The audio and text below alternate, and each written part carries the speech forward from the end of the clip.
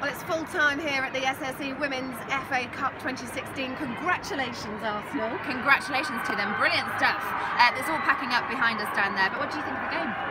Um, in short, I was really surprised by it. the offside rule here with South Kait Borsay, Lindsay Hooper. We'll give you a quick match analysis from us. Um, I think Arsenal came here with a game plan. I was surprised how much time Chelsea let them have on the ball in the first 20 minutes. And when they went one up, that was it. Close off the back line, keep it really, really contained. I don't think Chelsea ever really showed up today. Maybe the last five, ten minutes they looked like they might score, but it was really down to Arsenal being very disciplined, very organised at the back. And I thought they played the perfect and executed the perfect game plan.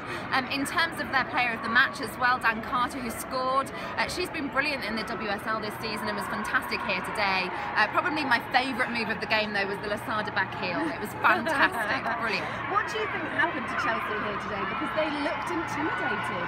They never got going, did they? Well, speaking to them, I went down to the tunnel and spoke to both Emma and also Katie Chapman, and it, it feels like a few of the players didn't turn up today. Now, why that was, maybe it was the occasion, maybe it's a bit of despondency you know, they've beaten them in the league already. They're also eight points clear in the WSL. So maybe it's to do with the fact that they thought this was going to be an easier game than it was. Uh, record attendance, nearly 33,000 people here at Wembley today. Uh, that's it from us. Congratulations, Arsenal. And uh, we will uh, see who makes it next year. Got to say about that as well, Arsenal, 13 times before this FA Cup winners. They've made it number 14 with the first time here at Wembley. Congratulations to them.